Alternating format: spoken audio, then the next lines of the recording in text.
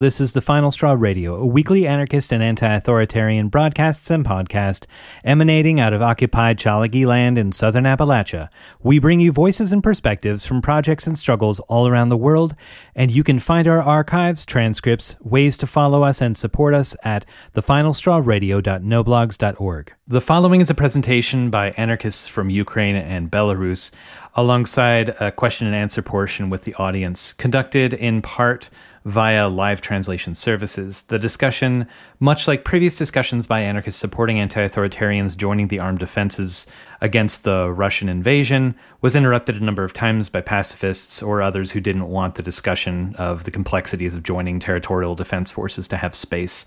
Those interruptions were mostly not recorded as they happened off mic, but you'll hear a reaction to them. I felt the audio was important to share here with the audience, particularly in spite and because of the silencing efforts. So I recorded this during the 2023 Saint-Imier anarchist gathering on the 105th anniversary of the first anarchist and anti-authoritarian labor international, following the purges by Marxists and Blanquists.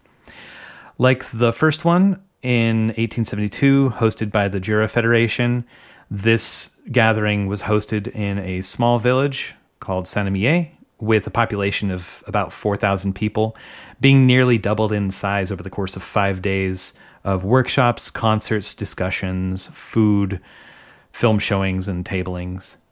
So you can find reflections from some of the folks uh, at crimethinc.com of folks who attended the Saint-Imier conference, and I'll link those in the show notes, alongside in the show notes also links to recordings from live multilingual radio broadcasts throughout the event and the website for the gathering where you'll find a list of happenings from that week.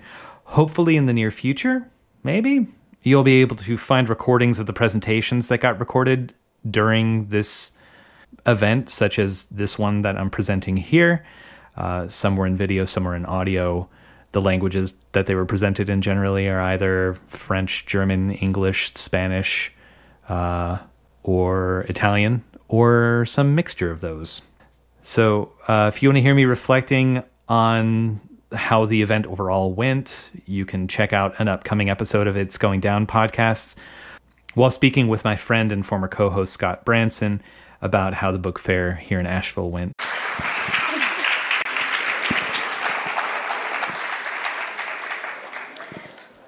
Okay, um, thank you, and hello and welcome to our event. I have a couple of pre announcements before we come to what we're actually doing. First of all, there's a live stream. Um, it's gonna be blurry, like it's this camera over there, but no panic, nobody gonna be recognized. Then I would like to announce again that this is an anarchist camp and it lives by all our solidarity, mutual aid, and respect. So, everybody who did not yet sign in for the volunteer shift, please do so after the event. You can do this in the Espace Noir and uh, yeah, help to make that event happen in the way we all want because there are not enough people helping. And as anarchists, I think I don't have to explain you what mutual aid and solidarity means. Okay, then we have a mailing list for people who would like to support um, us in our struggle. It's on the info table over there, and we kind of have a newsletter, so we can you can sign up with your email and can, can uh, yeah get further information or uh, join us in whatever way.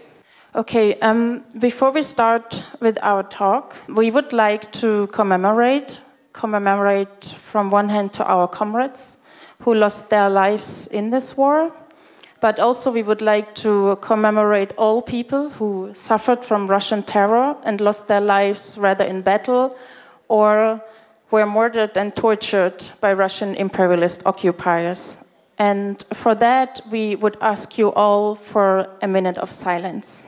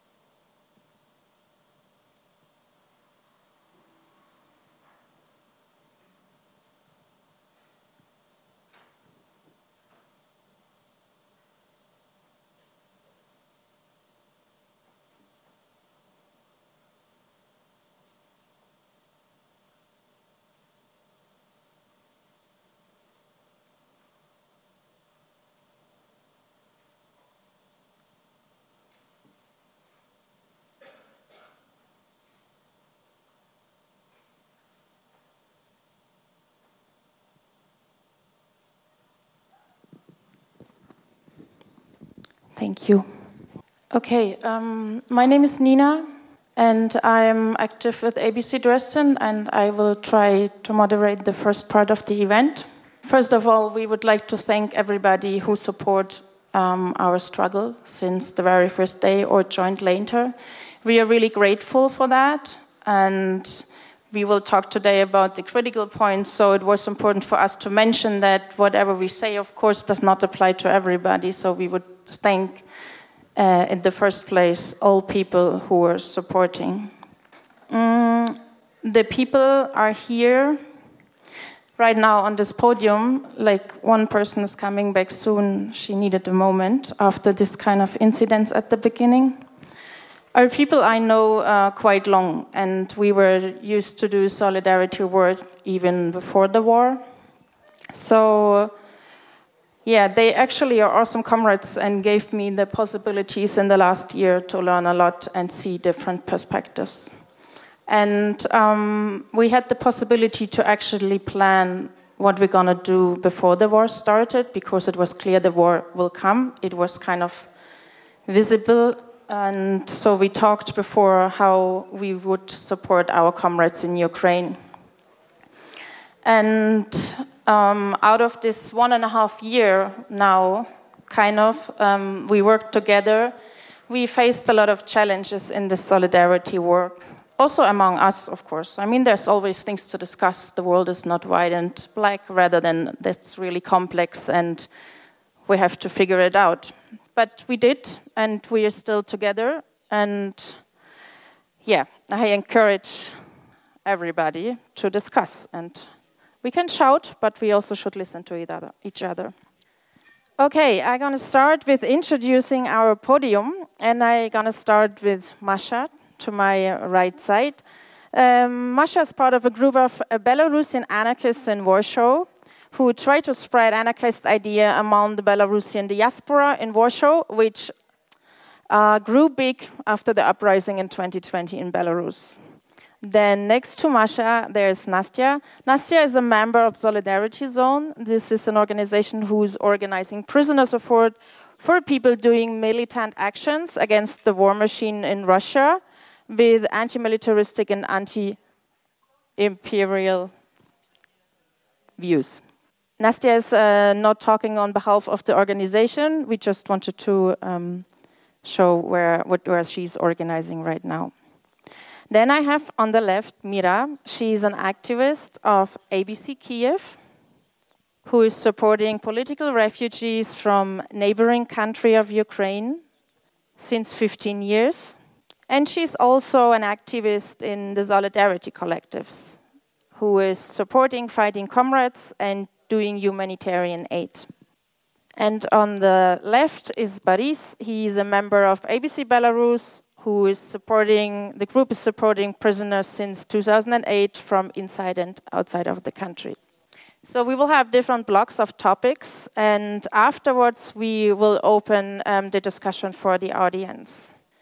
Okay, and um, we're going to start with a more regional perspective you all know that the war began in 2014, and this beginning of the war in 2014 affected the relations between Russian and Ukrainian groups.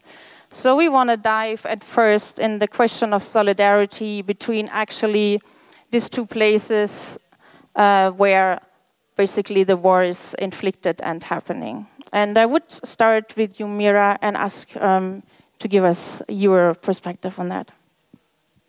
Um, yeah, I can say that we were quite close with uh, Russian collectives before 2014, and during, I mean, also, also, also after, but not uh, less and less, I would say.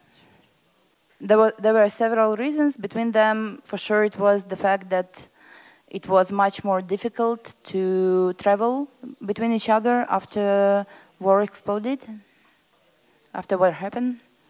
But also, it was that I would say that we both, on both sides, were more or less ignoring what is going on. We were concentrated on our usual like anarchist topics and not really reacting on war much. And I would say that we still had some connections, my group, we were also running like big anarcho-feminist festival with the aim to keep these connections. But yeah, it was um, getting more weak, less people in contact, so losing uh, like losing common topics, losing common discussions.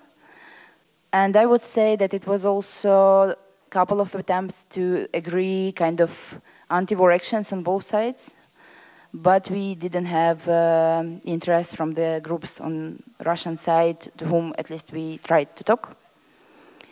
And then uh, for the moment, uh, yeah, it's no relations between groups. It's more like personal relations with some exact comrades somewhere like in Russia or outside Russia.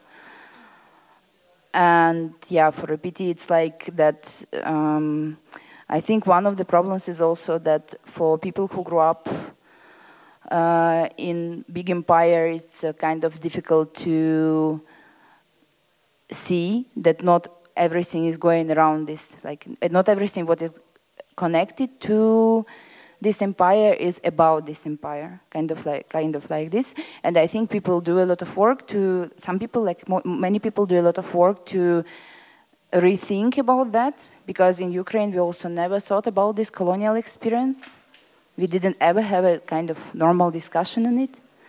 It just popped up now. And yeah, I mean, it's now complicated, but I hope that maybe events like this will make more connections and more possibilities to work together and kind of go through this experience together. Thank you. Maybe Nastya, you want to share your perspective?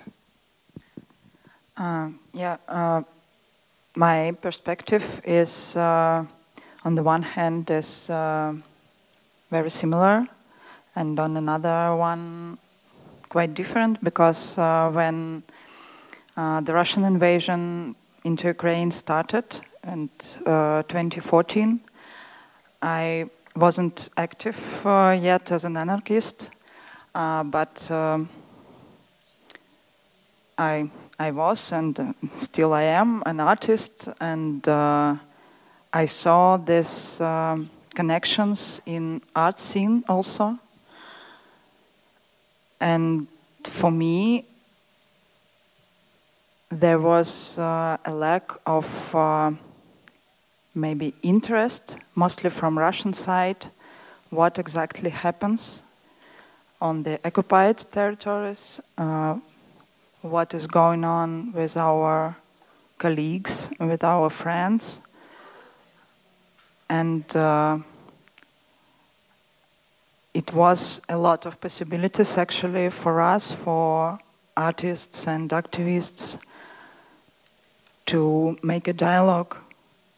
But I can't say that we used it every time we may.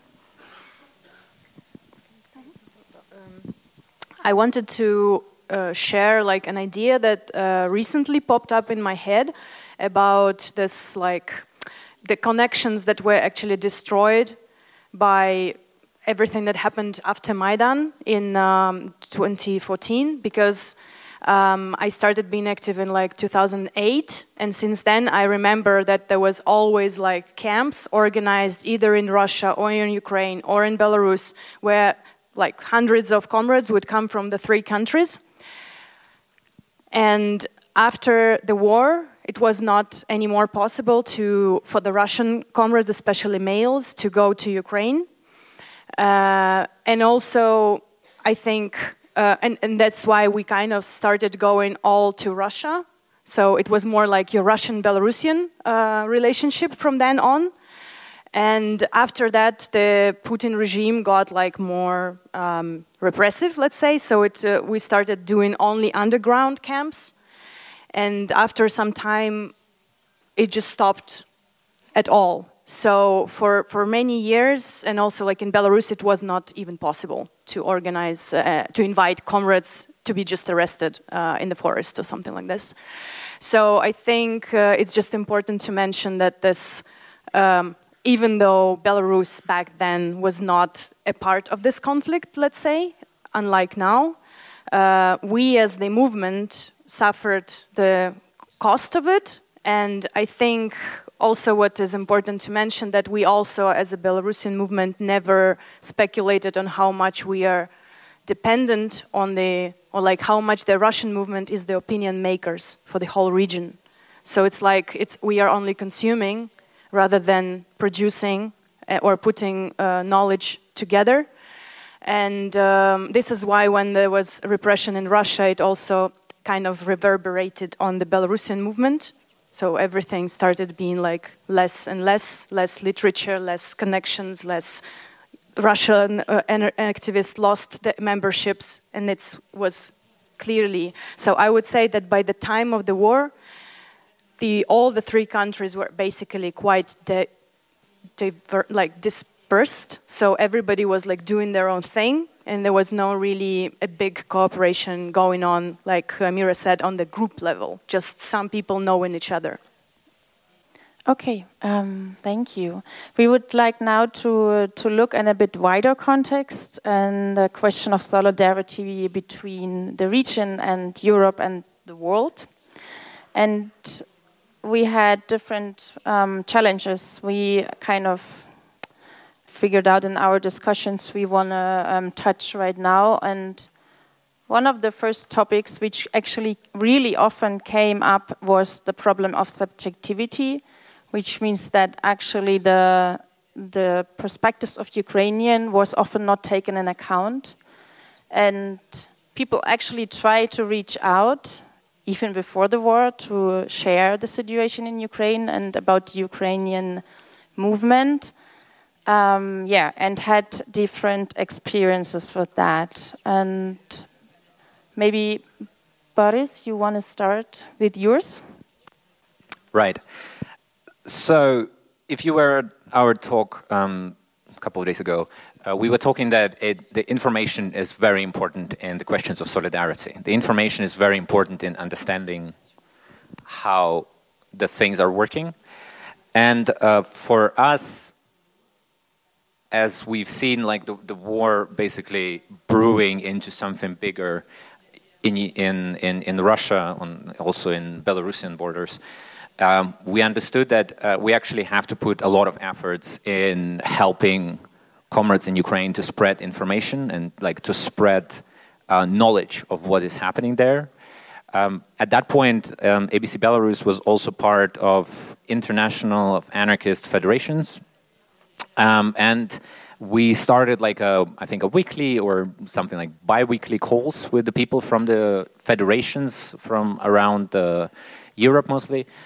And uh, the, the first calls were kind of people were interested in knowing what the things are happening, but slowly, like step by step, with uh, more aggression inside of the information sphere, uh, we ended up actually with the people shouting at the person who was doing these calls from our side and so on, and also ended up in the situations where people from the Europe, European countries, um, Italy, like south of uh, Europe, right, were basically reproducing the Russian propaganda in those calls. Like you're basically sitting with the comrades and you're saying, okay, this is and this is the current situation, and the comrades are just as if they are copy pasting Russia today on you.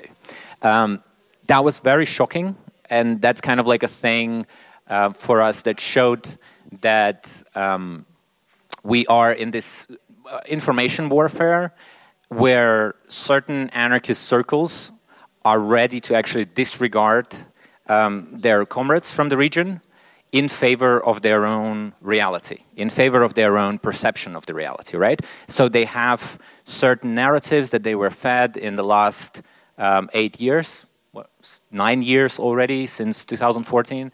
And when those narratives were questioned by the comrades from the regions, um, it became very hard to find a common language. And at the end of the day, those conversations stopped.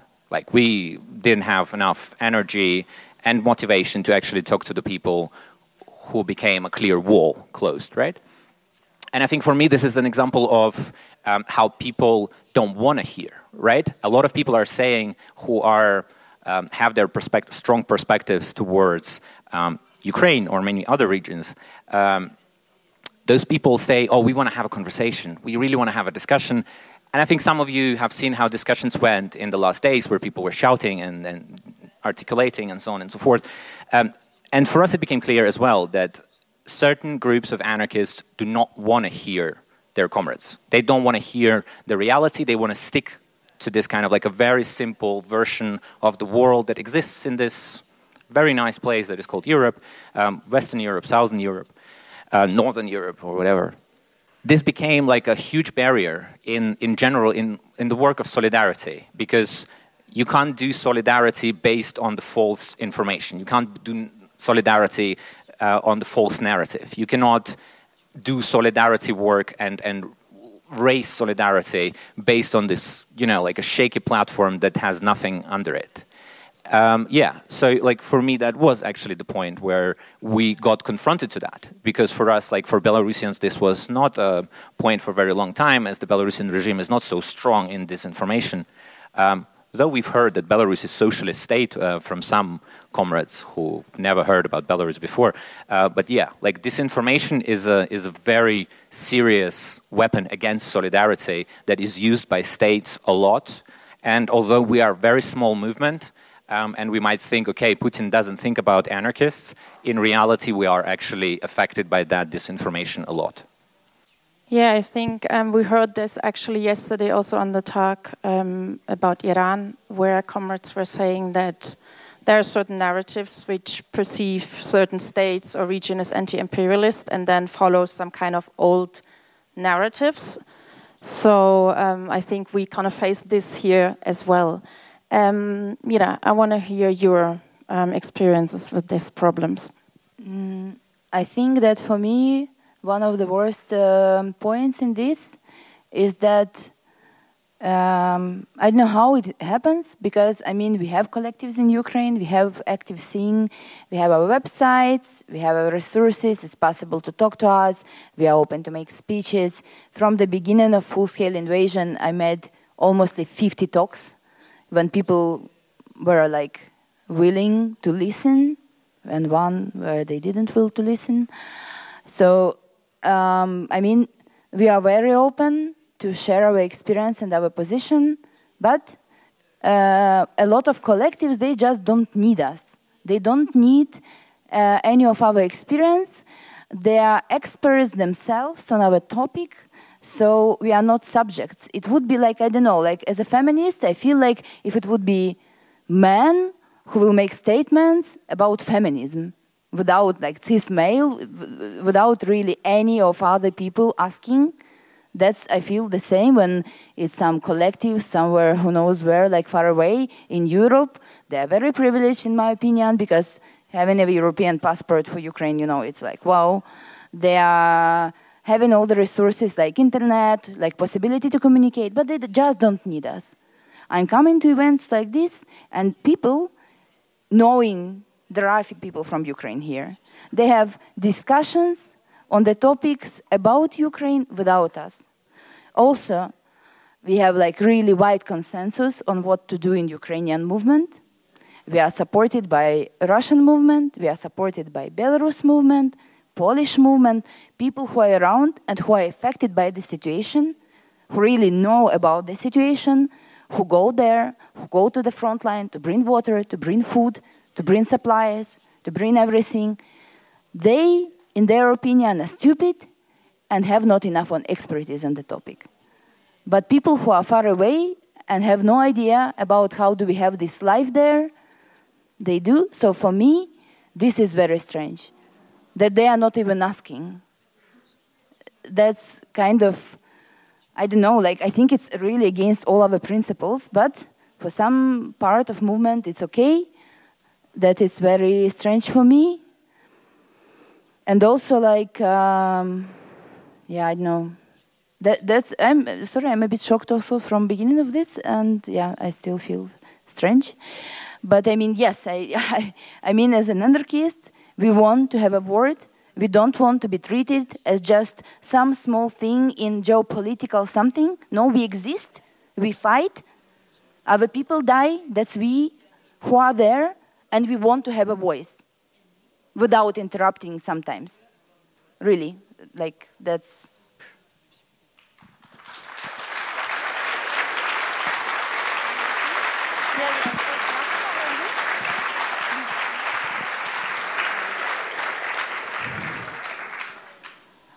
I'd like to express solidarity with Mira uh, because I also feel like ignorance of our voices from Russian perspective also because uh, when we try to say what happens for us, we should very, very often validate that our experience is existing, that it's true, that our solidarity with Ukrainian comrades are fair and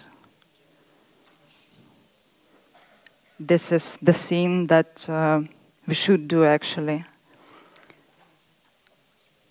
And uh, also, I have a couple of words about occupied territories by Russia.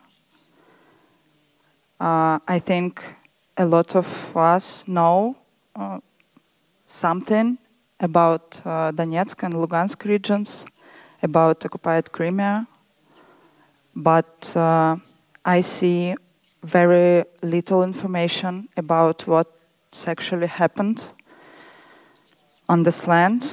But uh, for these eight years, Donetsk and Lugansk was like mm, legal nowhere when murders and kidnapping of people happen every month and a lot of people was tortured killed raped here and this part of this war seems like quite in invisible for lots of people.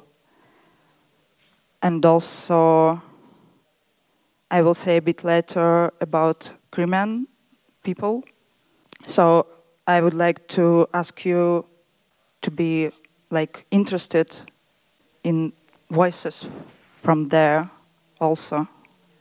Because this is this occupied land is land of certain persons certain people who live there who love these territories and they don't want to leave it during all these years of war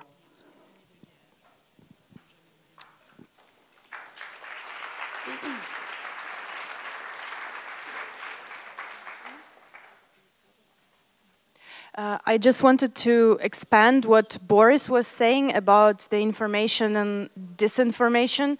And I think I got an insight recently when I was interviewing uh, comrades from uh, France, Germany, Greece, Finland, uh, Poland, and like our region, uh, asking how their societies have uh, reacted to the war and how the anarchist movements reacted to the war there. And I had an idea that actually um, the division between the countries that are in favor of supporting Ukrainian comrades and against them, or like kind of balancing in the middle or wanting to be neutral. I think that sometimes it depends on how much, and I'm inviting you to think about it, wherever you're coming from, how much the red like the communist, the authoritarian communist discourse is still influencing our movement because this discourse, the Russian uh, being always right, being cool, and wanting to create a socialist paradise on earth, and only the nationalists are against it because they don't want to be, they want to be part of the capitalist world. And all these like dual power thing, NATO, Russia, like this kind of uh, Cold War shit, is still alive. And uh, even in the countries where the movements, the communist and the anarchist movement, are divided, like they're not cooperating or like hating each other. But like I'm just inviting you to think about how much your movement, even in this situation, is influenced by their discourse, because this is not coming from the anarchist discourse. Uh, it's not coming from there and uh, like, it, I sometimes feel like I'm reading the Emma Goldman memoirs, where she was trying to tell the whole fucking world how the Russian Revolution won while being there, and nobody believed her for years to come. So I just, uh, this is just some observation that I made. Maybe it's not true, but yeah.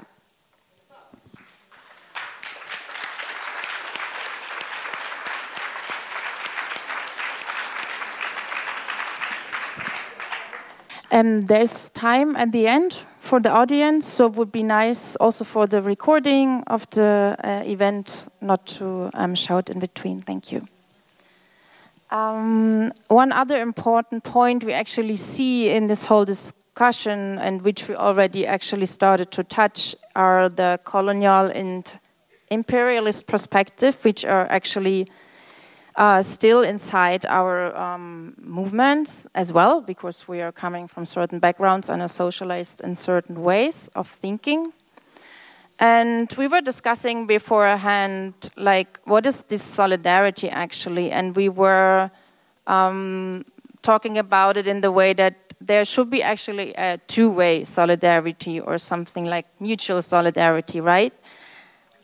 And that would mean that we actually interact in respect for each other and and listen to each other and being often yeah for the other person's perspective. And uh, we often see that yeah this didn't really work out as we already um, touched right now. And we would like to get a bit deeper um, in this problematic um, uh, yeah, discussions or points.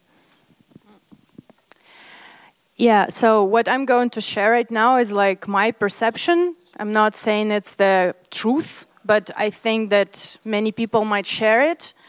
Is that uh, for the first time, probably in my life, it was clear to me how anarchist solidarity is divided, just like we are divided living in different countries different countries of capitalist abundance uh, or resources, access to um, power, let's say, and also living in this uh, west, east, south, north, how much our movement copies that and how much the solidarity is divided in along the lines of previous colonialism and also uh, capitalist abundance.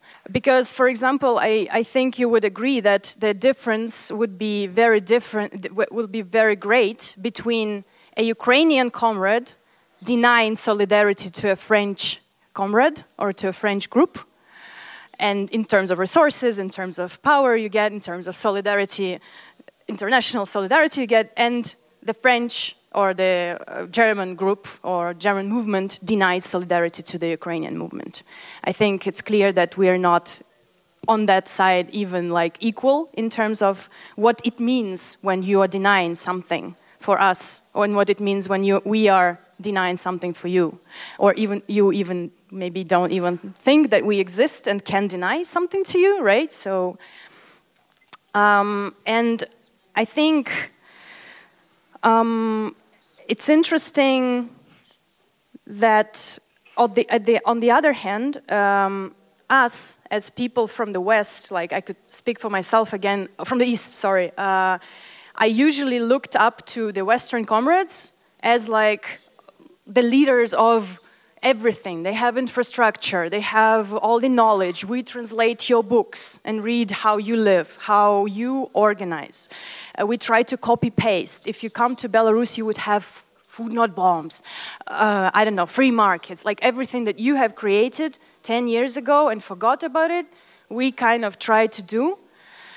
But on the other hand, we in this position which is also not reflected, let's say, unreflective position, that we also see you as a point of resources.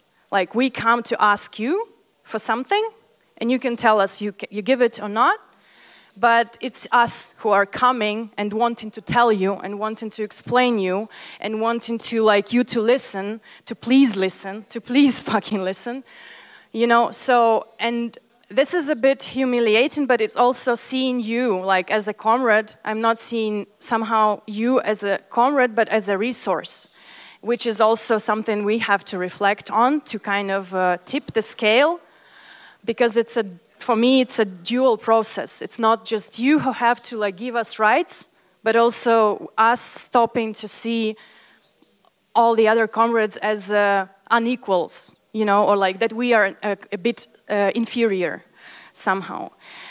But the problem, I think, was that sometimes I faced with the reality after the war that it was kind of easier for the Western comrades uh, the, uh, to see us as victims. Like it's like we are doing uh, a lot of presentations about Belarus, and everybody likes it because we are living in a, such a shitty country. We need help, and we are these victims, you know.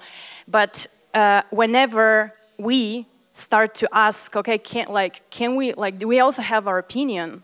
Can we like say it? We also have our own analysis. Not that we are copy pasting yours anymore. We want to produce ours. How about that?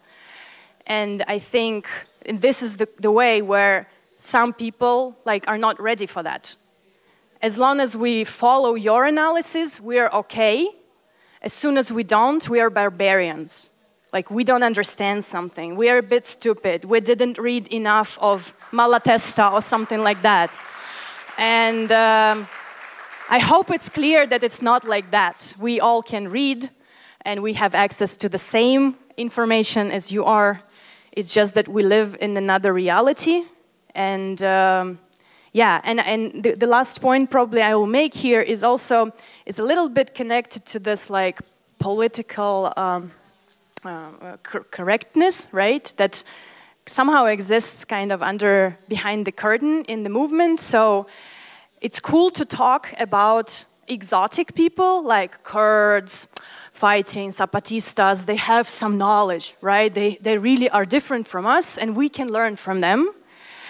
But we cannot learn from Ukrainians because they're like white like us, and they have to, I don't know, they have to either learn from us or just follow the general Western civilization thing. And so we're, the, on the one hand, we are not exotic enough. On the other hand, whenever we try to be exotic, we are not like put on the same level. Like we cannot compete with Kurds for the solidarity because uh, we are not even doing the same thing, or like we don't understand. So I think it's it's interesting to observe that and uh, how it's not like I wouldn't imagine like if there would be a Syrian panel or like a Kurdish panel that people would attack this people just like us, but it's okay to attack us because we're white, we are like European, we will um, suffer, like we will endure it. it. This is how it should go, right? So um, yeah, I think it's an interesting observation.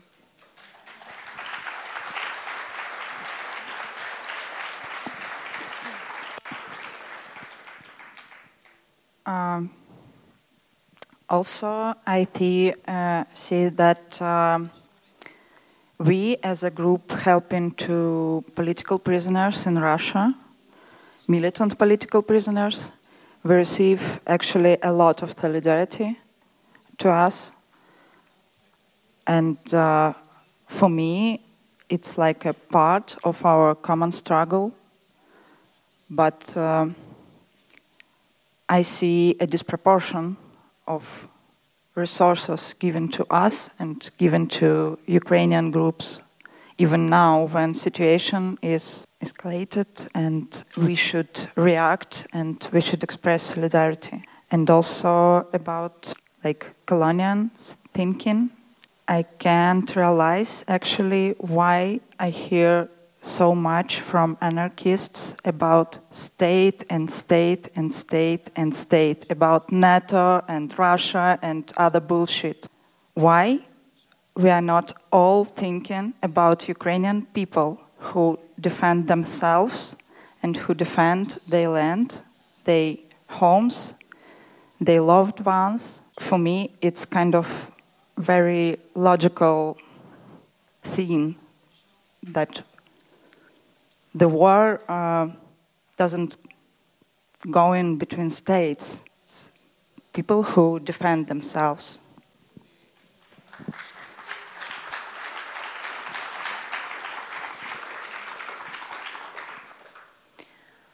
Yeah, I think for me, one of the thoughts I had during these uh, months is like 16, 17 already soon, uh, going and talking, talking, talking, asking all the time in the position of asking help, all years before for refugees, also now for war victims and for fighters. I felt that, yeah, I mean, that's the rules I'm, and I mean, I should really say it. Uh, the rules I'm, I'm, I, I make for me here is not to make comrades angry. We should be nice. We should be nice. We should be patient. Like if we say like we should control every word, because then these people who are against us, they will catch us, use it, make statements, new articles, all these kind of things. And I think I cannot call these people comrades really, because when you feel that much of violence and tense without really will to speak or understand, I cannot say this word uh, like okay. So people accept it in the movement. That's what I how I will call it now. So even when Nastya now is uh, talking, and I'm like, land, land is the word you should not use. Land is bad, bad. Then they will catch us by this land because it already happened. And it's like, um, yeah, I mean, people have full control of uh, on this uh, on their side. And i don't know how to avoid it but for sure like for, for example people are saying awful things to me during the event sometimes. But i should be nice because making conflict can cut help to my comrades. So i don't want to be a reason of it. And it was several times like really brutal things people were saying i as a personality if it will happen in ukraine it will have consequences. if it happens here, I don't know how to call it. It's not racism. I, we should create some word like for this thing to Ukraine, but that that that exists. I feel it. I can like see it how it's going on.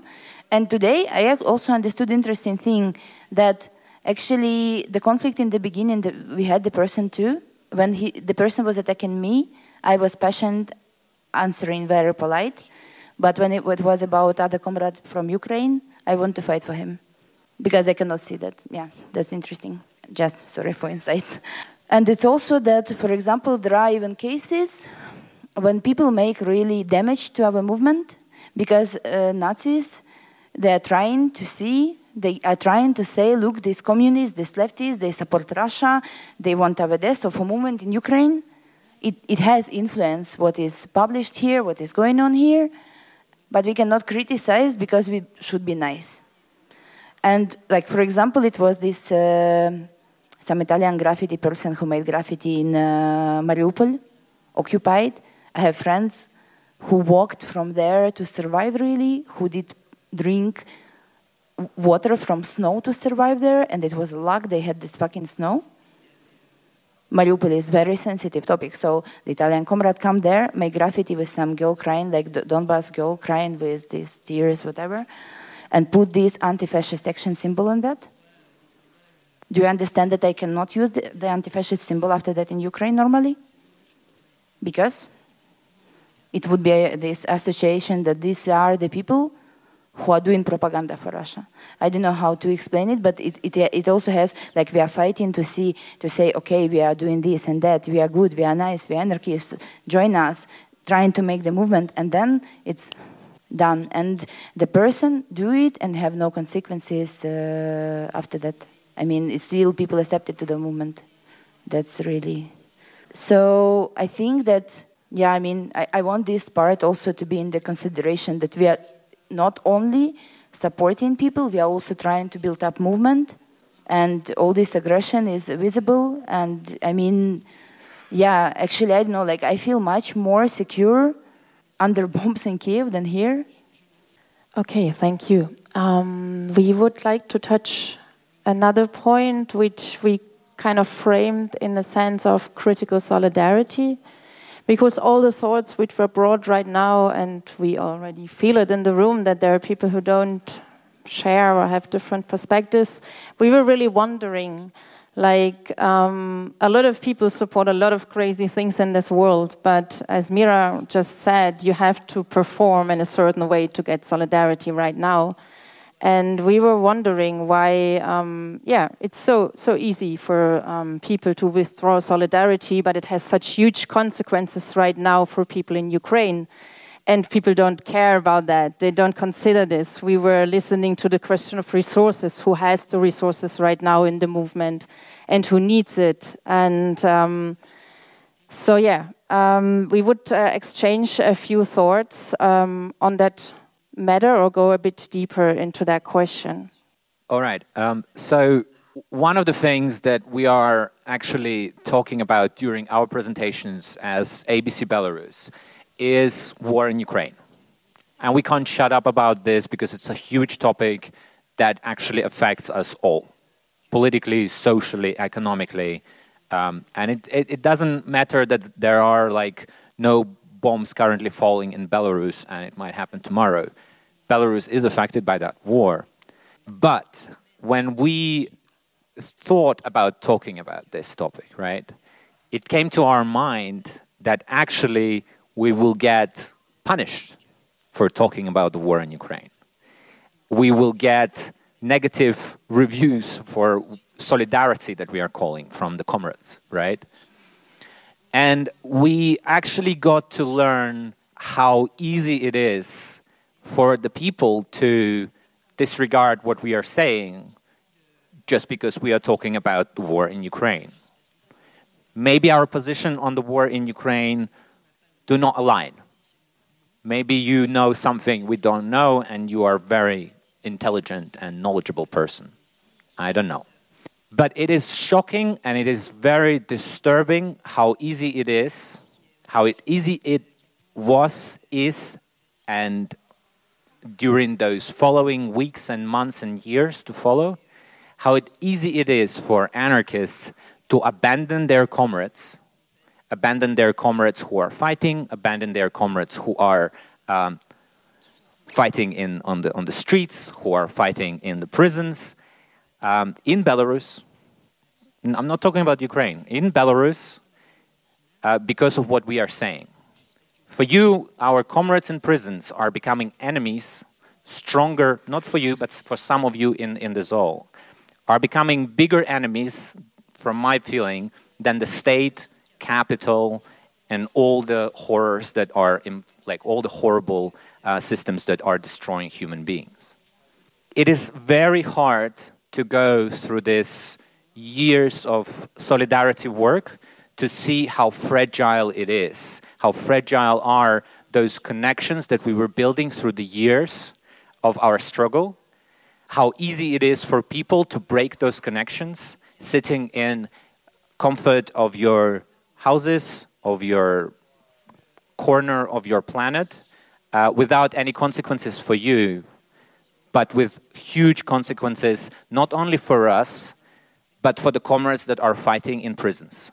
And I would like you to, to, to sink, to let it fucking sink, that you are ready to abandon people who gave their freedoms, and some of them gave their lives, uh, in favor of your political contradictions with the other groups. It is, it is astonishing, it is horrible, it is very dis, um, disencouraging for any solidarity work to come. And you have to know that this is a huge danger that is actually not above only ABC Belarus or Kiev groups, but any group that is doing solidarity work, that um, comrades are becoming enemies so fast, not only for those who are, who are like us, right, but also those who are sitting in prisons and they are continuing their fight there. Uh, and also about our comrades in prisons. For me, as a person who doing solidarity work and uh, supporting prisoners in Russian prisons. I can't imagine uh, that all that people, our comrades, our friends, would be free if Russian state, Russia's regime will stay.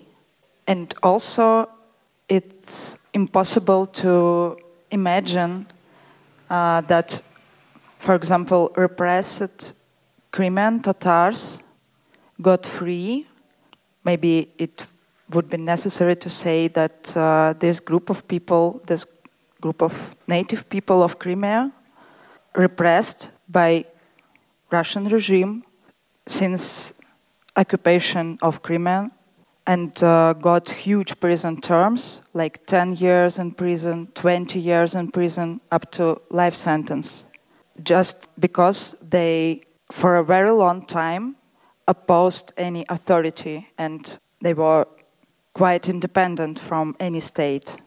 And also these people who are having sentences on terrorist so-called terrorist articles for just being a part of community they also wouldn't be free even if regime will somehow change it. I don't know uh, what is magic should happen to to lead to this result but uh, for me it's like very clear that freedom of our comrades of hundreds of prisoners in Russian prisons is directly connected with mm, the fall of this regime, this state, and uh, this country in its current current state. I'm also thinking that it seems that movements here are fighting for this and that rights. For us, the biggest thing oppressing us is uh, attacking Russia. So why people think that it should be justice for them, they are fighting for justice, and for us, it should be only peace. Because justice for me is my friends in Russian and Belarus jails getting out. Justice for me is stolen kids going back to their families because Russia also stole kids from occupied territories. Justice for me is we are not sleeping with bombs every night, like really, because they do it every night. Like they can do it months with just one, two nights without.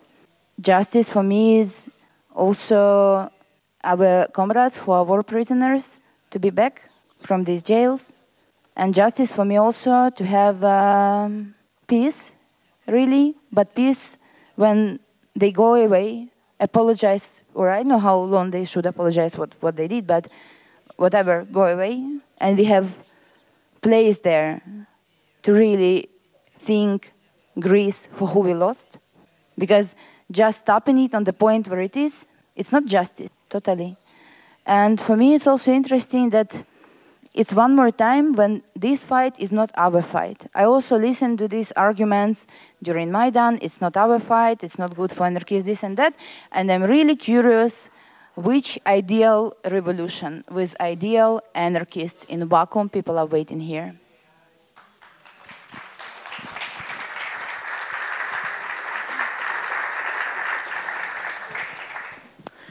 Okay, we already made quite a lot of points. We will have a last final, like a last round with uh, final statements of each of you. For now, uh, supporting of our friends, our comrades, groups in Ukraine means to be consistent. For me, it fits on feminist logic, on decolonial logic, anti-imperialistic logic, and from my perspective, to be a feminist mean to have a right to self-defense, to fight back. This is exactly what Ukrainian people, Ukrainian Solidarity Group do right now. They realizing they right to self-defense.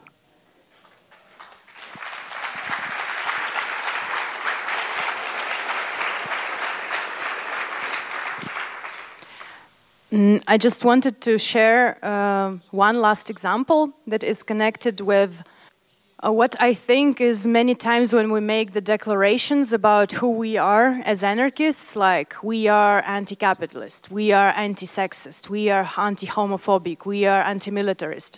And it's becoming empty words when we are actually not building any structures that support these statements in our movement because it's easy to say I'm anti sexist, but when the person claims that they have been harassed, to just tell them to fuck off or like to say, don't say about it, we are anti sexist. So sexism doesn't exist here and it's not in the anarchism base. So stop talking about it, right? And I think that anti militarism is becoming kind of such a thing, which is just declarative solidarity with the people without the, any practical consequences, how I see it. It shouldn't be solidarity with solidarity collectives. But I don't see how the people who claim to be anti militarist in the anarchist movement and claiming solidarity with the people or the working class, how they actually do it and what is growing out of it. And about this purity, just on the example of this camp, I don't know how much you are involved in talking with the organizers or how much you're following this Telegram chat, which is telling every day about people fucking up this, people fucking up that, there is a police going to come, or a fire brigade cannot access, or the trains, uh, railways got fucked up. For us, it's just messages that we read to enjoy our commonality here. But behind that curtain, there sits I don't know how many people and receiving the fucking calls from the cops, from the fire brigades, from the state, from the city, and they're talking to them for us to be here. And if we were so purist here, anti state, anti police, no talk, no dialogue, no conversation, we, like this, so we needed someone to take care these conversations for us to be here. Why is it so unclear for some people that we cannot be purist in everything we do? And why is it not clear that for us to sit here and not be bombed and not be advanced by the fascist state, somebody needs right now to fight on the fucking borders of the East and West?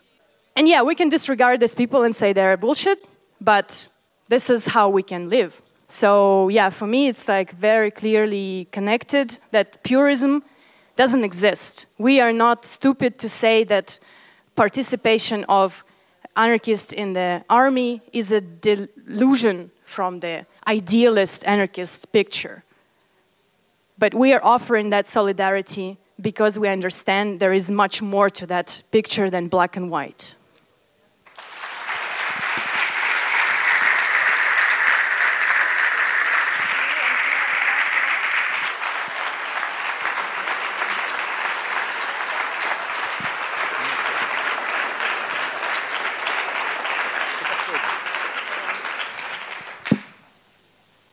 Days ago, uh, I'm, I'm, I'm remembering the two days ago a lot, so just let, let it sink in you.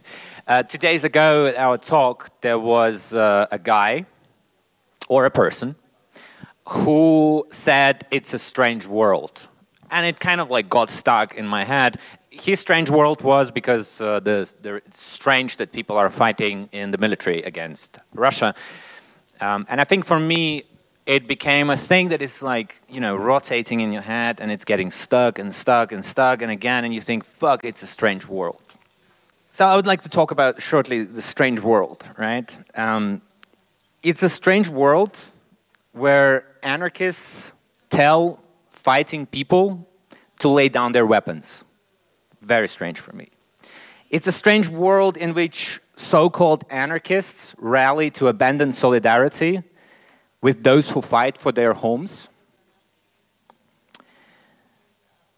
It's a strange world in which it is more important to provoke comrades from war regions than actually show a little bit of solidarity. It is a strange world in which capitalist peace for anarchists is more important than a fight against dictatorship. It is a strange world in which anarchists are expected to be nice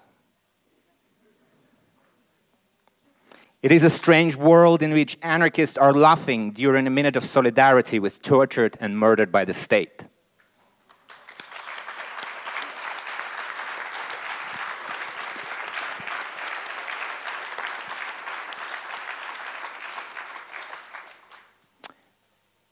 One last thing.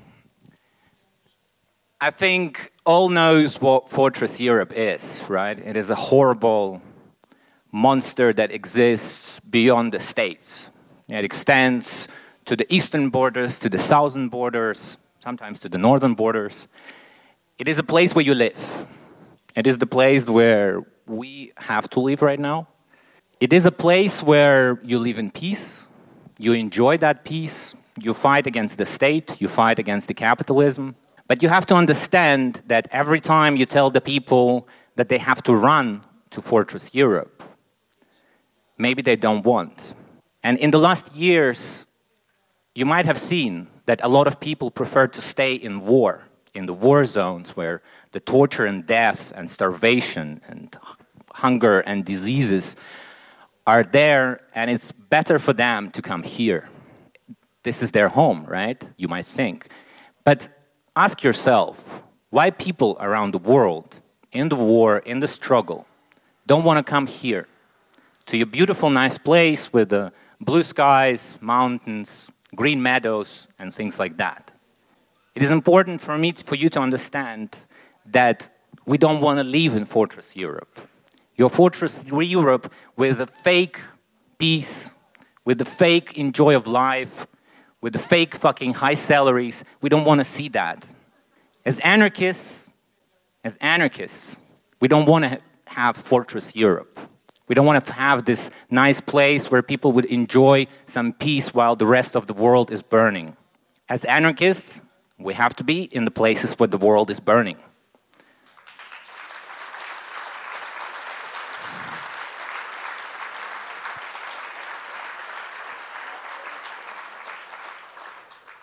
As anarchists, we have to be with our comrades on the streets, in the trenches, in the prisons, or outside of them.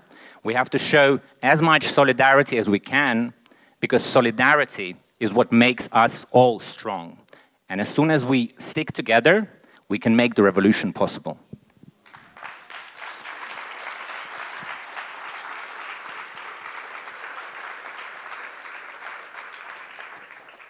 Uh, I want to say that, yeah, uh, actually, we, when, when everything was like going on since 2014, we as anti-militarists were signing all these uh, statements, blah, blah, blah, because we saw that it's still possibility for peace and wished it just to stop. We did it already. It's not that we didn't try. We were fighting for stopping militarization. It was, if you check all texts, it would be my sign there. Yours, I think, not. okay, a lot, a lot really. Uh, most of the people who signed that papers, they're in fights now. One, my friend who signed that uh, things, is uh, in jail as a war prisoner now. So we are not really. We, it's not that we didn't try. It was just the moment when we understood that the problem is that Russia is taking territories, and then they make people against these people will to go to their army and fight next territories. That's what I call militarization, really. And we are anti-militarist. Our anti-militarist people decided to join army too, to stop it. That's how we see it. I mean, you can disagree, but a lot of people see situation like this. Just want to mention.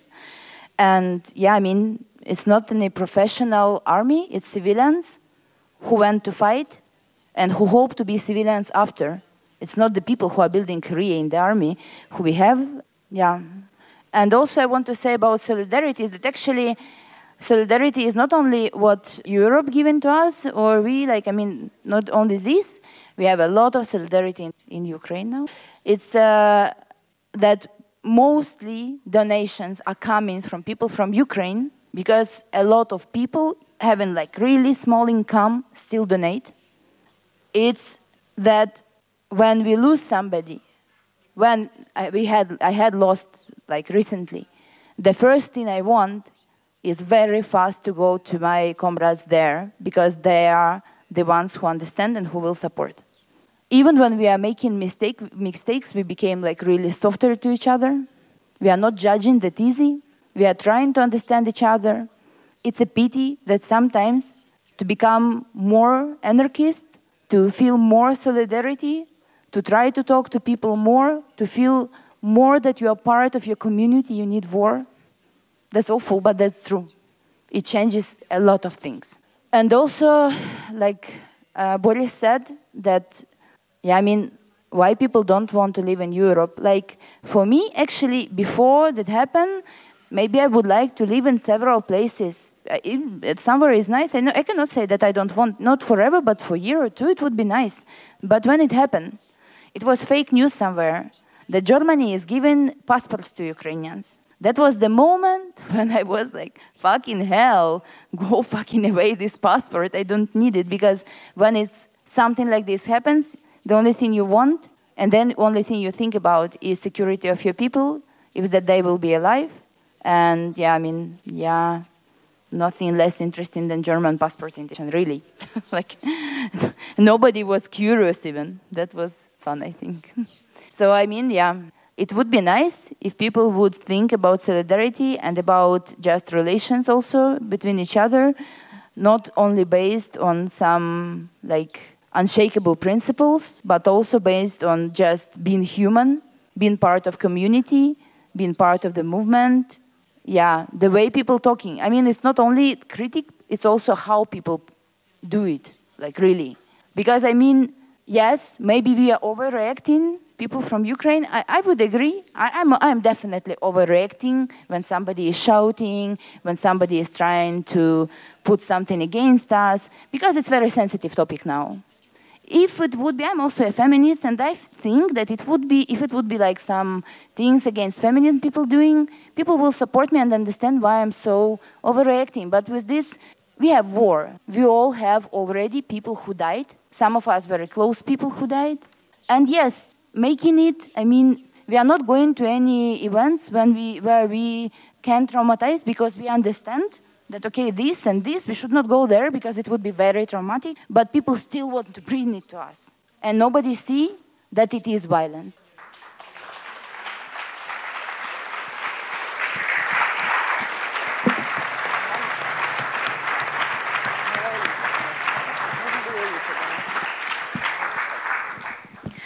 Okay, um, thanks a lot. Thanks a lot for all of you sharing. I know it's hard. You just mentioned it. It's it's really hard. It's uh, especially in an environment where you know there are people really offensive and rejective. And um, yeah, I, I think the, the important point is that this is your life reality. This is not an abstract theoretical discussion some people can choose to take. This is your life. And I think people should be a bit more respectful, and I would announce that for the coming discussion to be constructive and respectful and take into account what was, what was actually said the last one and a half hour. So we will give over to the moderation for the discussion now.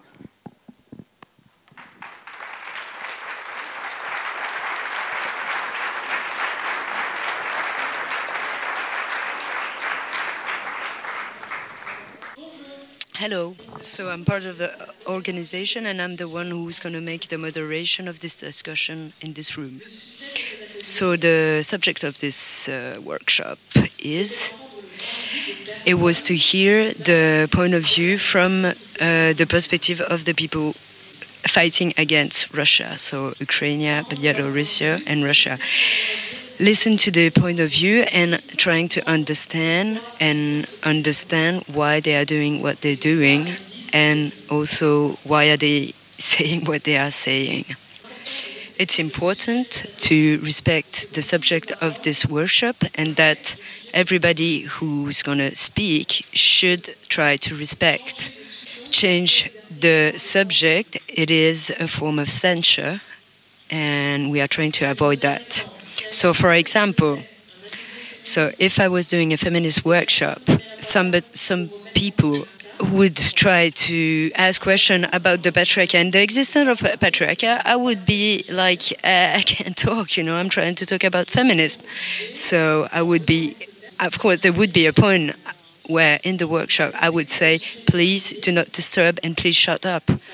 So this is why to keep on the subject it's going to be able to liberty of expression.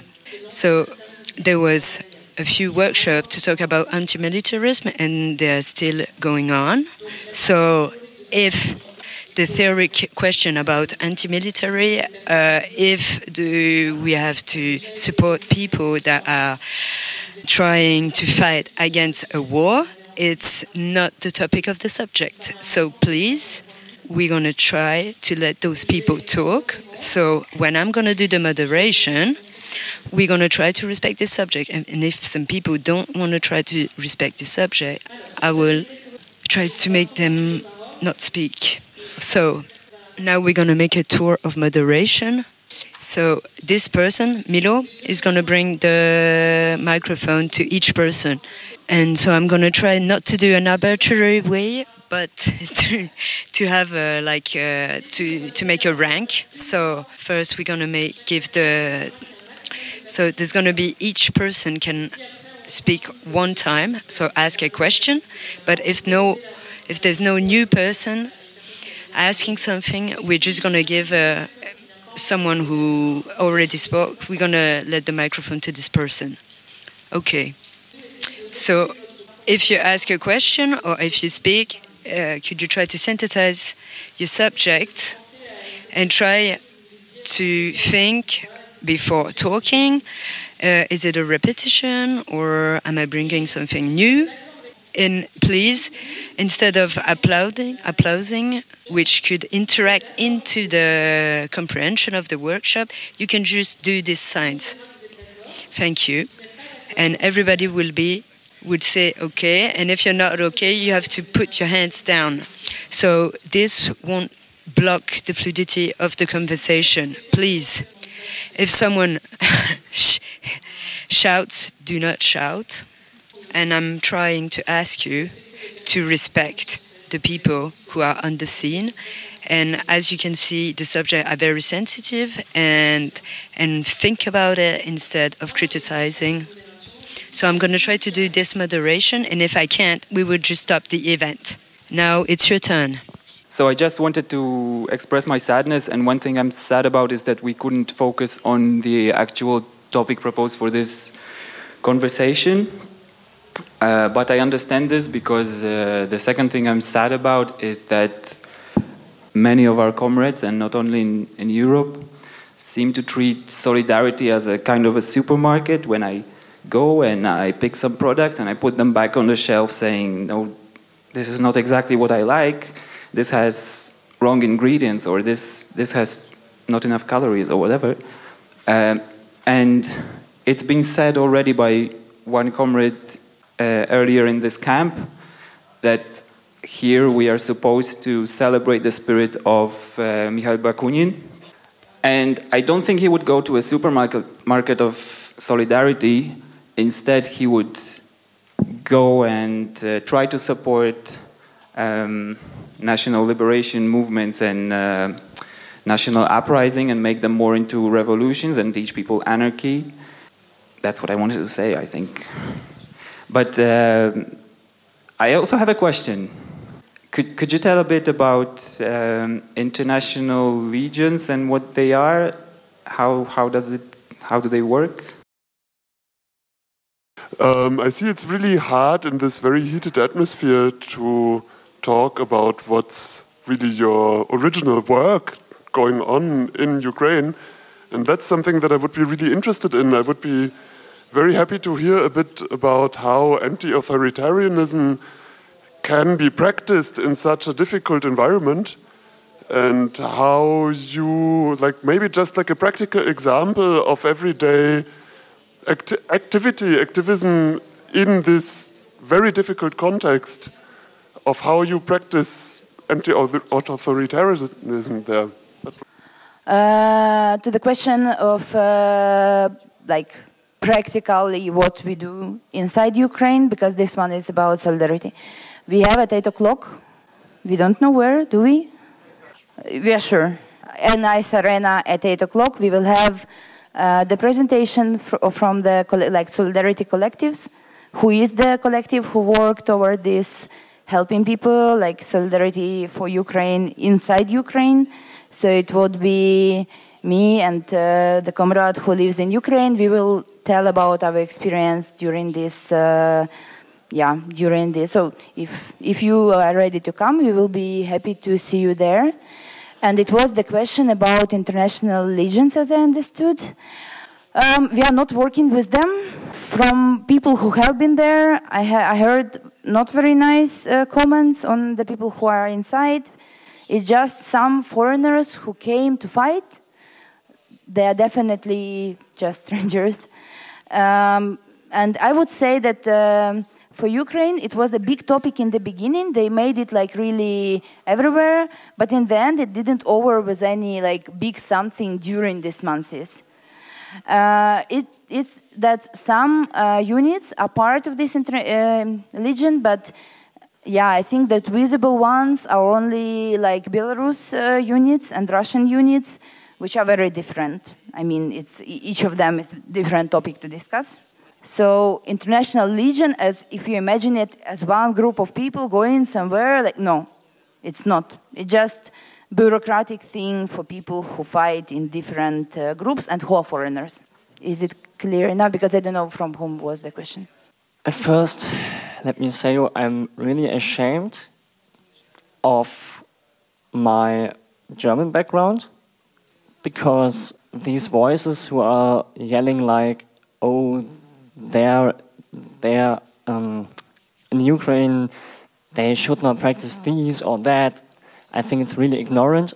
So yes, that was my first point, and um, I also feel ashamed for like we have so much resources, as you told, but we didn't use it um, in a really productive way.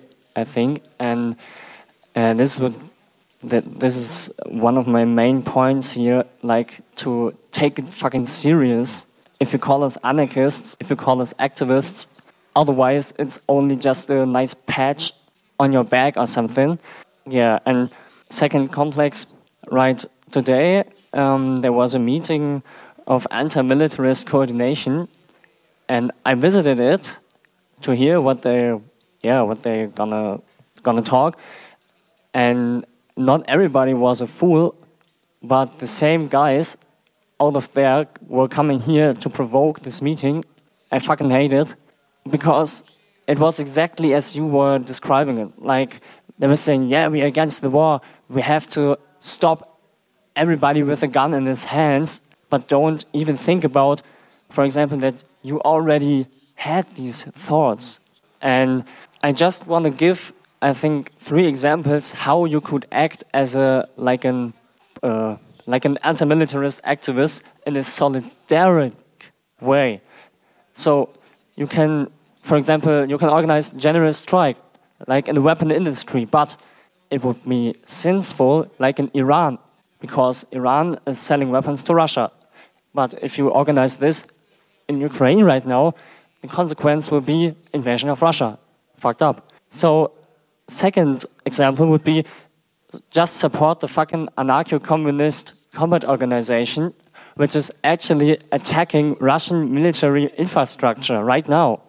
So, why you're talking about like, oh, we want peace, blah blah blah? Just go there raise money and, yeah, support the anti-militarist activists in Russia.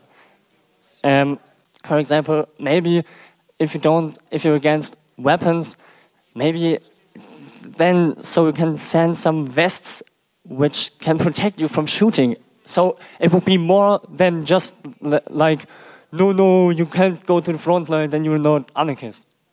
Know what I mean?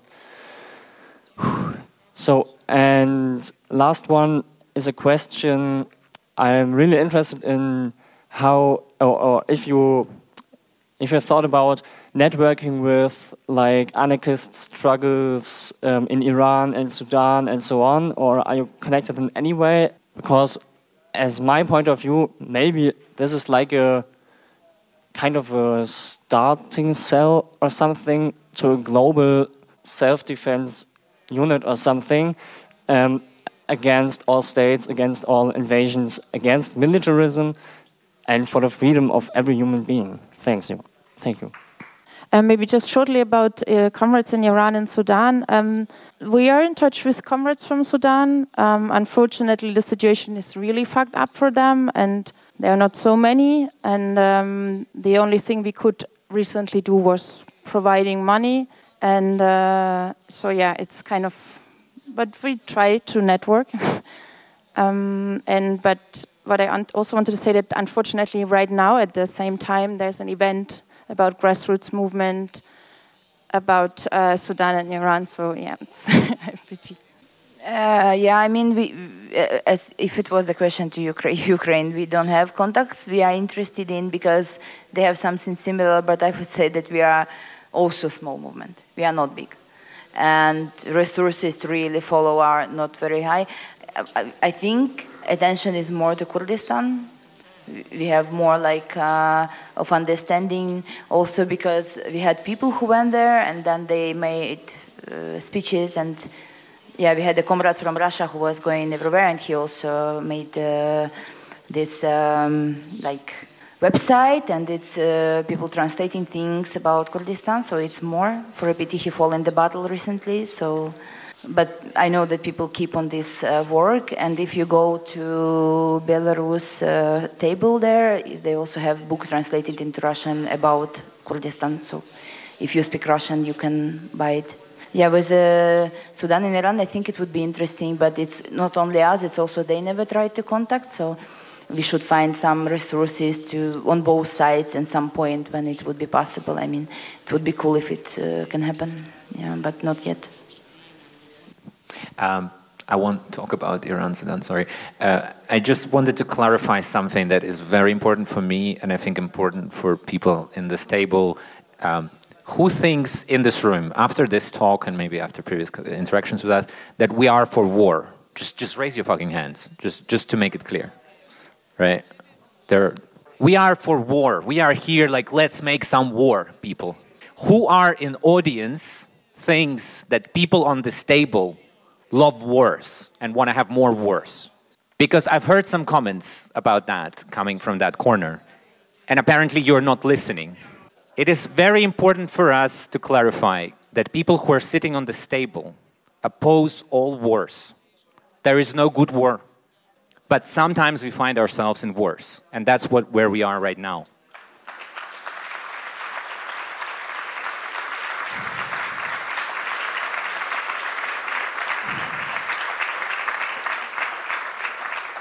And instead of being individualistic very self-focused people who are saying, just run, alone. You can make this decision, run. We are trying to do something collectively. We are trying to fight collectively, and this is our point. Not, not fighting like war, war, war, every, every war, but fighting this war in the way we can, in the way we, like, in the way our energy allows, and I think it's important to respect that and to hear that finally, that there are no militarists here, there are no people who are supporting wars, and this is a very important point to make for me here.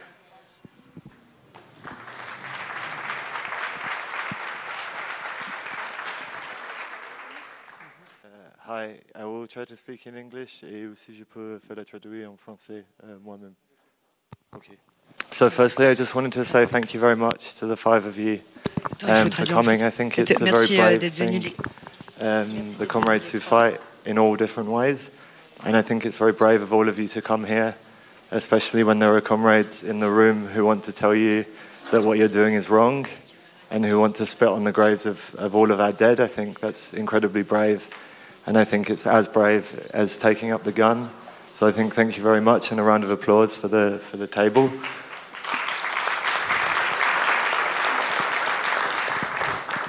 Um, for those of you in the room who are, are, coming here to disrupt these talks, and especially the last person who wants to laugh in a minute of silence, je dis nique ta mort. Parce qu'en fait, uh, non. Sorry. So, fuck your mother. Uh, I, say, I say, fuck your dead. If you want to come and you think that anti militarism is funny and to laugh on the graves of our dead, then fuck your dead too. And your grandparents in Italy, your grandparents in France, were they fighting with the Nazis? Or were they fighting against them? You ask me. In, in Italy, you have this legacy, right? Where you say, uh, Brigada, we're against the fascism.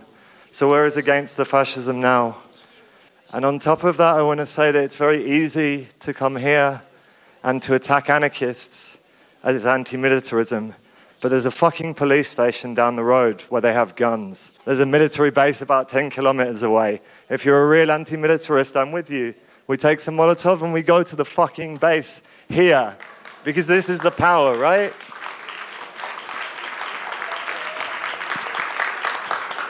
and, and the last thing I want to say is about colonialism. I think that in, in Europe we have a, one view of colonialism that is Europe and America as a colonial power, right? But to the east of us, there is also this other colonial power, Russia, right? And historically, in Belarus, in Kazakhstan, in Ukraine, in many countries around the area, this has been a huge imperialist power. So if we stand against imperialism, it's not just American imperialism that we have to stand against, but also Russian imperialism. And so my question to those people who, uh, who say they're anti-militarism, where is your anti-imperialist perspective? Um, and lastly, a, a, little question to the, to the guys, um, all of you on the table. I just wondered, um, in terms of in terms of prisoner support, what is the most useful thing that can be done aside from money right now? Uh, yes. Thank you again.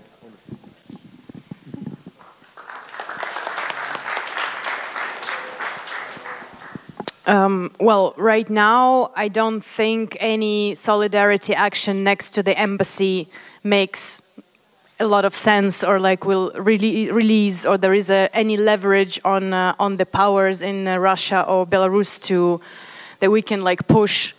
Uh, but I think that uh, it's important, and we uh, have also started to think about it. What are we going to do with all these people who will get out of jails, who have been in jails repeatedly, but also with the people who have been in the front line and having all the mental uh, disturbances that people from prison have, and we as a movement are never ready to actually accept and live uh, with the people who are like this is my own experience that it's really hard to um, to live with a comrade after they experience something as hard as prison in Belarus, but I, I can only imagine what it is like to experience something at war, and I think we need to prepare for that and prepare some uh, structures that could help us to really socialize these people in our way, to show their co- co- collective solidarity, for them to, to have actually a place to stay, not for like one week in a squat, but if they need their time, there should be some structures, some like sanatorium, like say, I don't know, massage um, sessions, whatever, talking to them, uh, listening to their experiences, and, and like, I don't know, therapy groups uh, organized by comrades. And I think this is not at all present, uh, at least not that I know of it. So I think we should not only for Belarusian and Russian prisoners, like we, we have a fucking loads of prisoners uh, everywhere in Italy, in like in Spain, in Chile, whatever. Like, and we need to take care of the comrades and not pretend that the day they come back to to to their release, they are the same as us mentally or like on on this level. So for me, it's really important.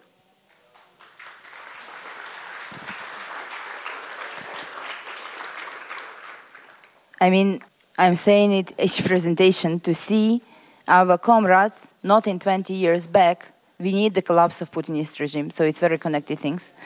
And for war prisoners, because we have this kind, we don't have uh, comrades uh, from Ukraine who are in jailed in Ukraine in the moment. Like, uh, and we didn't have last uh, 12 years.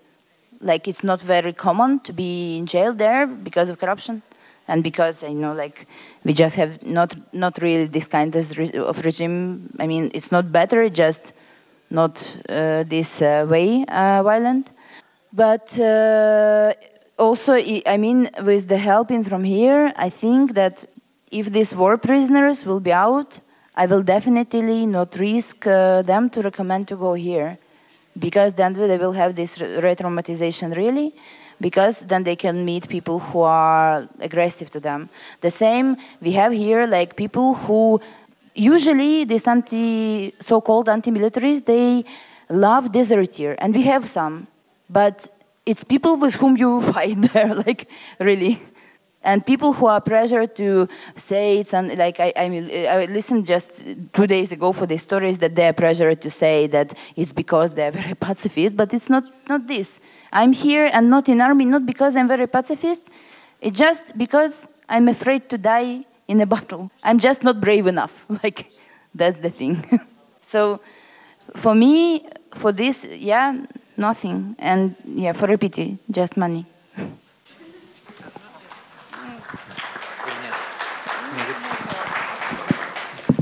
I think um, for me, both for prisoners and for the war that is going on, the wars that are going on, you are living in the again in the, in the fucking capital of capitalism, right? And that means that a lot of things that are happening here are affecting other regions. So, to give an example, IKEA shopping, right? Wood comes from Belarus. Your fucking chairs most probably made in Belarusian prisons.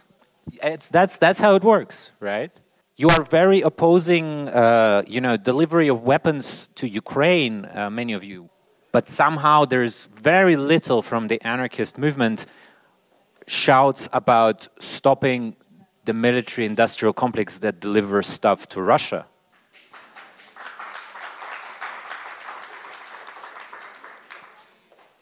Look at that. Think about how can you disrupt Russian capital in, in your country. You're in Switzerland. This is a fucking, I don't know, capital of capital of capitalism. There is so much Russian capital that you can become very rich if you figure out how to get it. Um, so do something. Like, don't fucking waste your energy on a couple of tanks that sent to Ukraine.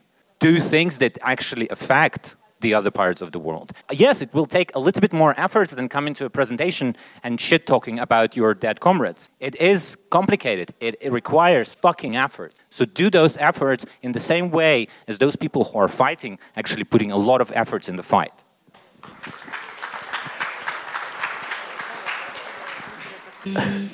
Uh, he would like to do something, to say something in German. So.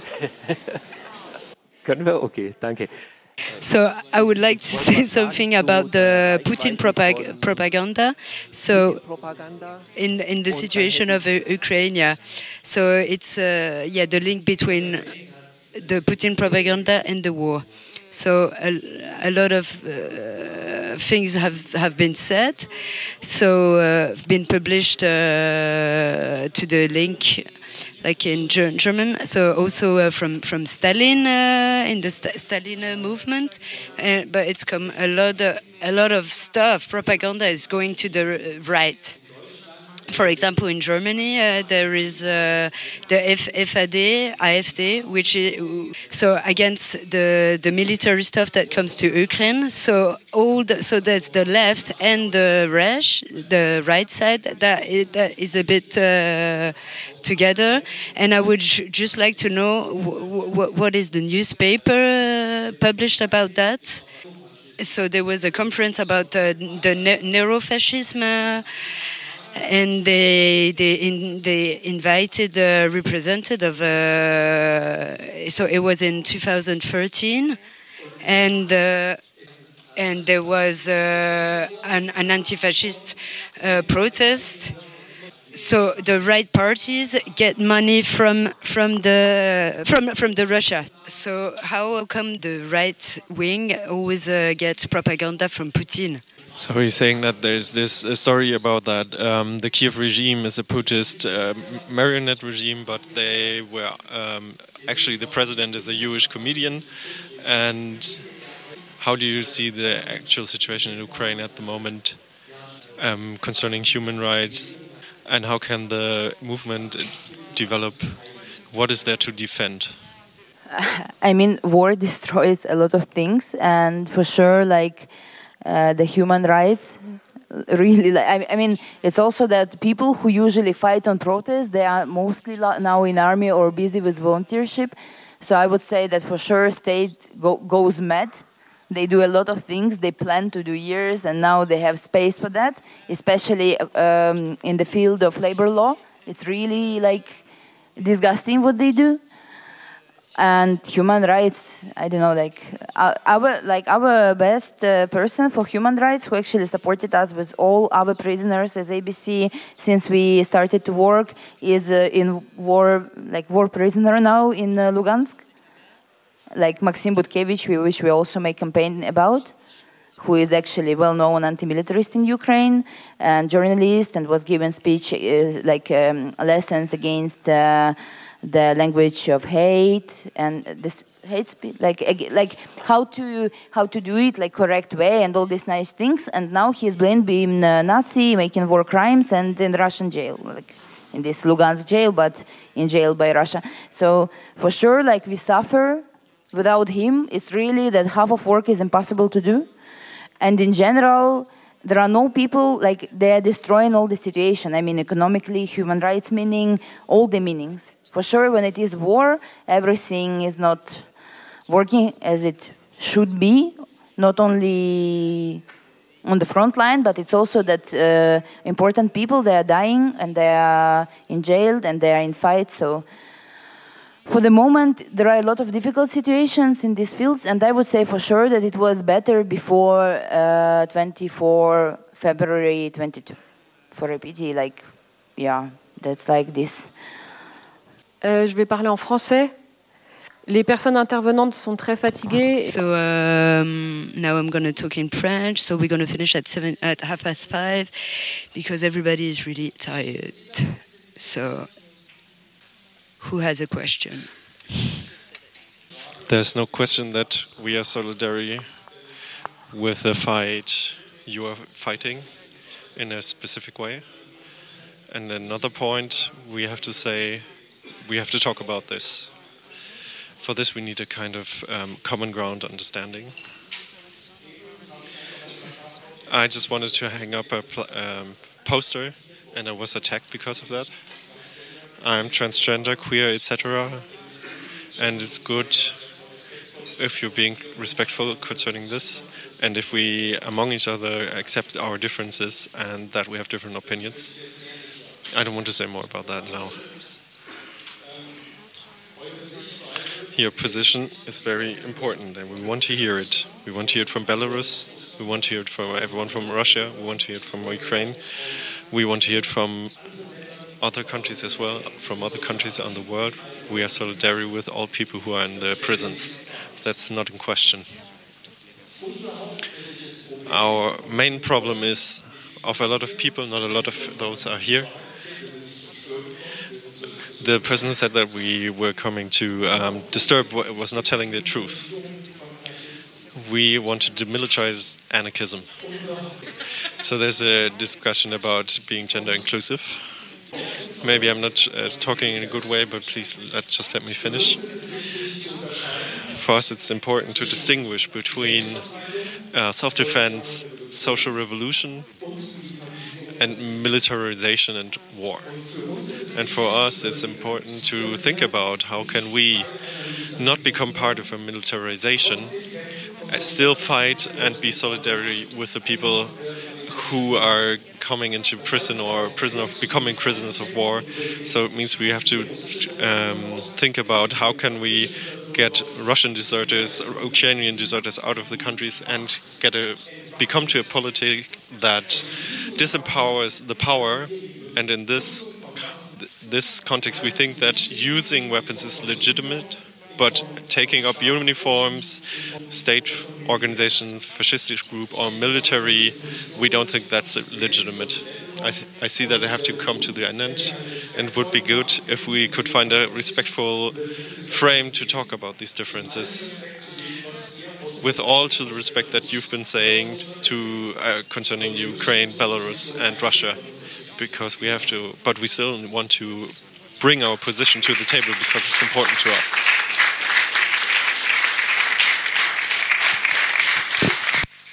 Yeah. Um, thank you for question. It's actually second time after the year the same question from the same person. Interesting. Um, last time I asked what are actually the ways to deal with other way, and we didn't find common ground on how to deal it another way then.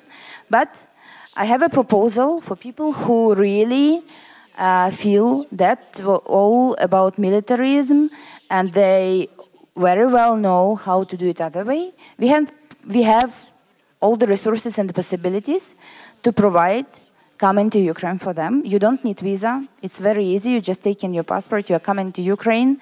We will provide place to stay. I mean, we can do it really. I'm not joking. If you are interested, we can do it. You can help physically with humanitarian part. So bringing water to people, bringing food to people on the front line, like close to the front, to civilians, not to fighting ones, is, I mean, it's still front line, but easier. And maybe then we, you can talk to our soldiers and you maybe will find common ground there. When you share what they have in reality then in that position your voice would be like really strong. So maybe that's the good plan. That's the, just the proposal if people want. Because for me discussing it in a circle 16 months is quite tiring i have my own interests which never rised up for example i was always questioning how what happened in Germany in 40s could happen with all the evil happen. And now I'm questioning how it could happen second time, how society can support mass murder in general.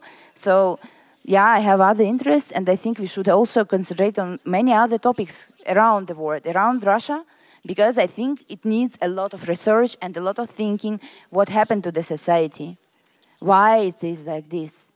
I'm very interested, not aggressively at all, because I have members of my family who also that direction. And I, for sure, I want to uh, think about that, how to change their opinion, how to work against this propaganda there and not in Europe. You know? And it's really like. Uh. I'm sorry. I'm sorry. Uh, you can also go to Russia. There is a lot of work to do in Russia. And, I mean, yes, you need visa, visa is very hard to do for the people living in, in Western Europe. It's very hard. You just have to go to the embassy and pay 35 euro. But like, get your shit going. Like, start doing things. You can't do it here. Do somewhere else. Go to Ukraine. Go to Belarus. In Belarus, you also don't need visa. Belarus is a very socialist country. Go Belarus. In, in, enjoy Minsk. Very nice city. Oh. I'm not, I'm not joking. We, we, we really need people in all those countries to continue our fight because people are sitting in prison, because people are fleeing the prosecution. You can help. You can help in so many different ways, but like disrupting solidarity, what is happening quite often. So come and, and do work. Show your solidarity through action.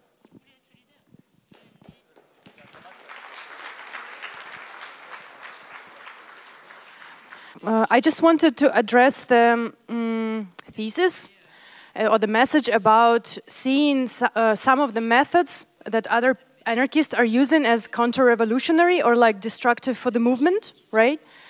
So, for example, speaking for myself, like I identify as anarcho-communist, and like I really honestly think that many individualist tendencies are counter-revolutionary and like really destructive for the movement for, at least for the work I am doing and for the methods I'm choosing to do it, they are sometimes like in a real con confrontation with uh, what my message, what, I, what message I want to deliver to the people and how they see the people or like generally the population.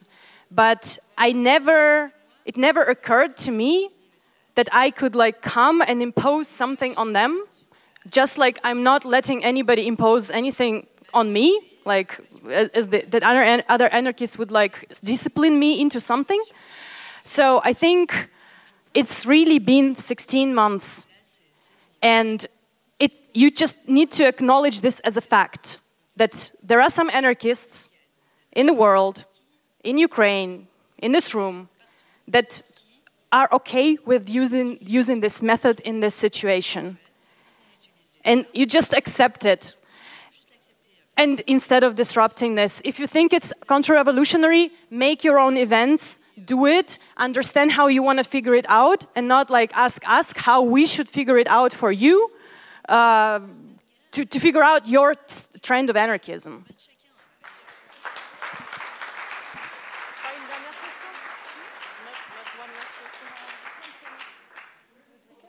I just had to say, it will be the last question because the comrades are tired. And yeah, we'll finish after this. Sorry. Uh, I just want to say thank you for speaking. Uh, I just want to make a quick point of question. Like, I feel like anarchists take it's arm taking arms is not new. Like an anarchist history, like this. and yeah, Spanish anarchists took up arms to defend against Franco's fascist army's insurgency, and now contemporary Ukrainian anarchists are taking up arms to defend themselves from occupation. And I feel like a lot of people are neglecting that when Russian army occupies parts of Ukraine, people are disappeared, people are taken to torture centers. So like, yeah. So like, it's yeah. I'm just. My question is, why do you think Western anarchists are not like reflecting on this history and acting so surprised that people are taking arms, even forgetting the Makhnovshina, the Makhno army taking arms to defend their freedom? And I guess my second question is, are there like any non-Western um, examples of um, support, like support that, that you value that was beyond Europe or in the global South that was different from the way um, North American or European anarchists were kind of like undermining solidarity? Did you find better solidarity from the global South or non-European Anglo context? Yeah, thank you. I see. Uh, important for me difference between uh, stopping and ending the war. Uh, and uh, the most common thing I see here in the streets, like stop the war or stop the different wars. And also the same I saw in Russia and uh, I would like to end this war.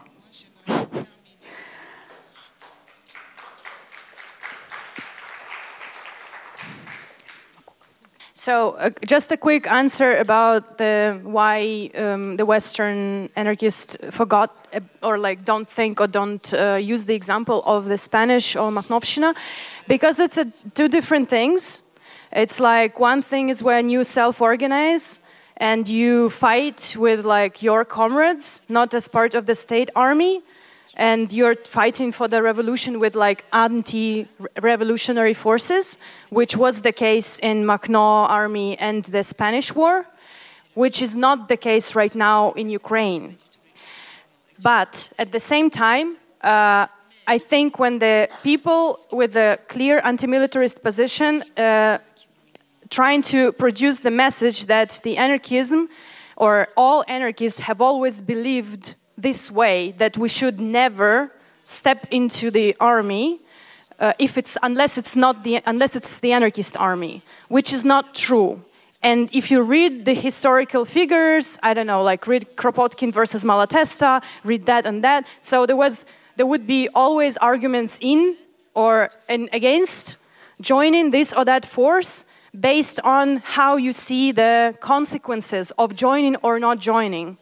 And so, for example, I think most of us here are like basically supporting the position that the consequences of anarchists retreating from this ground is basically means that there will be no anarchist movement afterwards, neither in Russia, nor in Ukraine, nor in Belarus.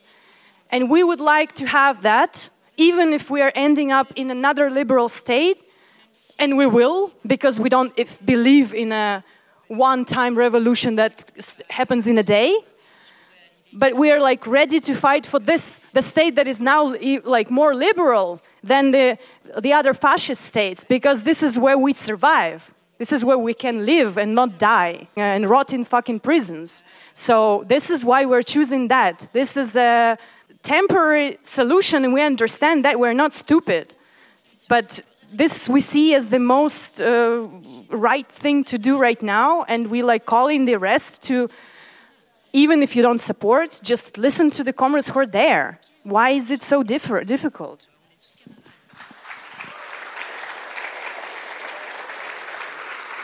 Second question. I I will answer a second question and that's it. Uh, for the second question about solidarity in other parts of the world, I think that's a bit like what we discussed, that everything is, for us, it was first everything concentrated on Moscow, then we stopped with that much, and then it's everything concentrated on Berlin or something west. And it's like we actually i was running this with the group with my group we were running an anarcho-feminist festival in ukraine and one of the main aims was to connect this west East Europe, but yeah, because nobody need visa to Ukraine. From in that point, Russia, Belarus, nobody needed visa in that point to Ukraine. That's why we thought it's good place actually to meet. And we kept doing it also during the war already. We managed to have a couple of times people from Kazakhstan, from Armenia, from Georgia, from more like east places. But the problem is that we don't have resources and they don't have resources money wise. So every time to meet, we need somebody on the west to ask to pay for their tickets. That's why we are difficult to build these connections. And in the beginning, we were telling that with Russia, Belarus, we are also losing connections. But in the beginning of war, one of the first reactions, one of the first solidarity came from Kurdistan, very fast.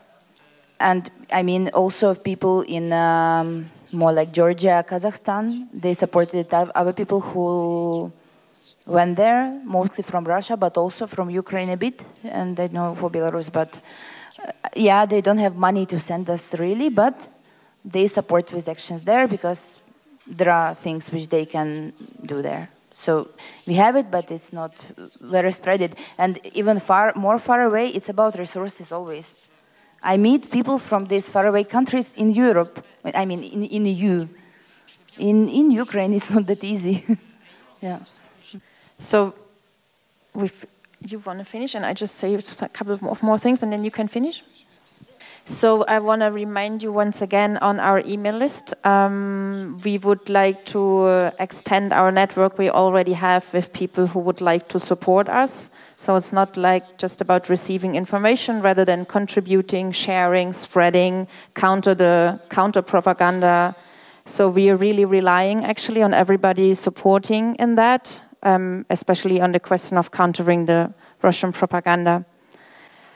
And yeah, thank you all. Thanks. Yeah, I want to remind you on the um, event of the Solidarity Collectives, where this is going to be a bit more practical and different um, actors who are supporting practically in the last one and a half year will be there and um, share their experiences. It is at 8 in the book fair, like in the ICE Arena. And we also have a table in the book fair in case you want to give comments and so on and so forth. You can try to flip our tables if you're like so flipped in your life. Um, but we are there, and so the conversation can continue in case you're interested. Yeah.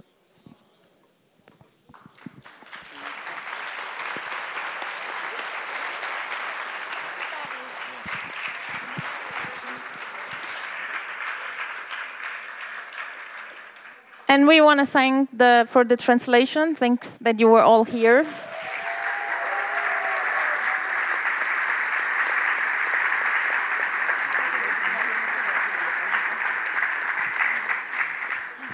And uh, thanks for live streaming and bringing this to a wider audience than we are here and recording the audio so we're going to can put it online. And thanks for the amazing moderation of this discussion.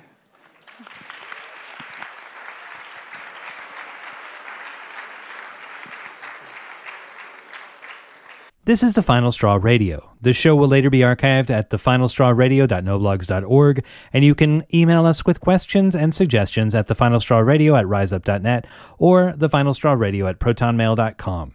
If you'd like to use any episode for your project or radio show, feel free to do so. Just send us an email to let us know. If you care to, you can send us letters at TFSR, P.O. Box 6004, Asheville, North Carolina, 28816.